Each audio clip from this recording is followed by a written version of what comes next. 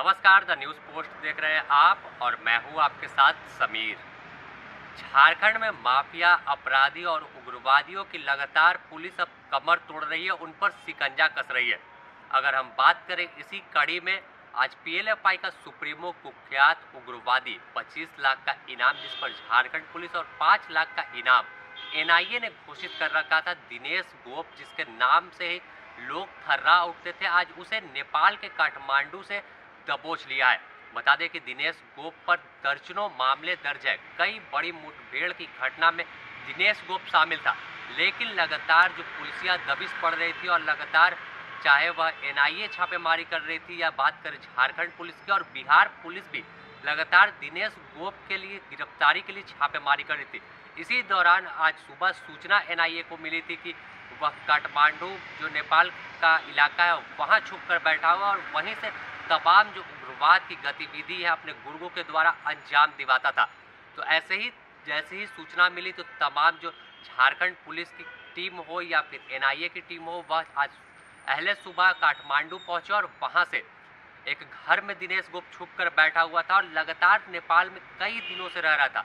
हर दिन वह लोकेशन अपना चेंज कर रहा था। यही कारण था कि उसे दबोचने में एनआईए और झारखंड पुलिस को लंबा वक्त लग गया।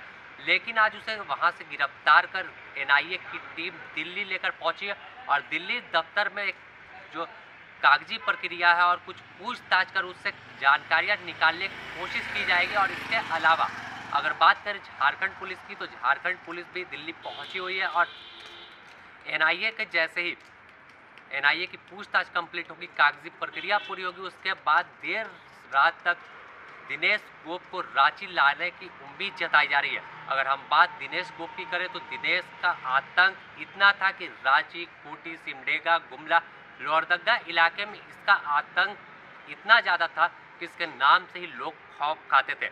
कई बड़ी मुठभेड़ पुलिस के साथ जंगलों में हुई, चाहे वह खूटी की हो, लोहरदगा की हो, गुमला के जंगलों में हुई, लेकिन हर बार यह जंगल का फ़ायदा उठाकर भागने में सफल होता था। हर बार पुलिस के हाथ खाली होते थे, इसके छोटे गुर्गे ज़रूर दबचे जाते थे। लेकिन दिनेश गोप इतना शातिर था कि यह भाग निकलता था। और अब दिनेश गोप गिरफ़्तार हो गया है तो संभवतः उम्मीद है कि जो उग्रवाद ग्रसित ज़िले हैं, तमाम खूटी, रांची, गुमला, लोहरदगा, जहाँ इसका वर्चस्व था, यहाँ अब उग्रवाद का खात्मा हो जाएगा। पीएलएफआई संगठन पूरी तरह से कह सकते हैं कि अब खत्म हो चुका है। इसके पूर्व अगर हम बात करें तो जो इसका दाहिना हाथ बताया जाता था, चूहा नाम उसका था, उसे भी जरियागढ़ थाना क्षेत्र से गिरफ़्तार किया गया था। या फिर बात करें लाखा पहन की, जो तमाम चीज़ों को, उग्रवादी संगठन को इकट्ठा कर चलाता था, इसका निर्देश पर दिनेश गुप्त के तो उसे भी सुरक्षा बलों ने खूटी के जंगलों में मार गिराया था। तो इन तमाम चीज़ों को अगर देखें तो अब संगठन खत्म होने के कागार पर है। और दिनेश गोप की बात करें तो दिनेश गोप के नाम पर चाहे वह बिल्डर्स हो, ठेकेदार हो या बड़े कारोबारी हो, उनसे बड़ी मोटी रकम वसूली की जाती थी।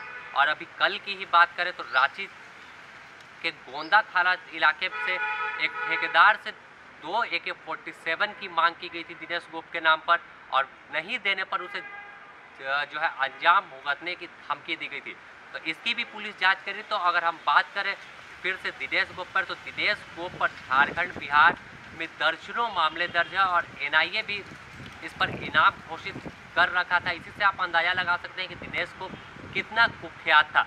यह तमाम जो दिनेश गोप के गुर्गे थे, यह पैसा जो लेवी का वसूलते थे, उससे विदेशी हथियार खरीदते थे, लग्जरी गाड़ियों के शौकीन थे और इनके जो गैंग में कई लड़कियाँ भी शामिल थी, चाहे वह जिस तरह से कुछ दिन पिछले साल देखा गया था कि तमाम जो इनके गुर्दे पकड़ाए थे तो उनके पास से लग्जरी गाड़ियाँ बीएमडब्ल्यू हो, थार हो, वो भी थार, अलग तरीके की मॉडिफाई की हुई और विदेशी हथियारों के फुटेज बरामद हुए थे।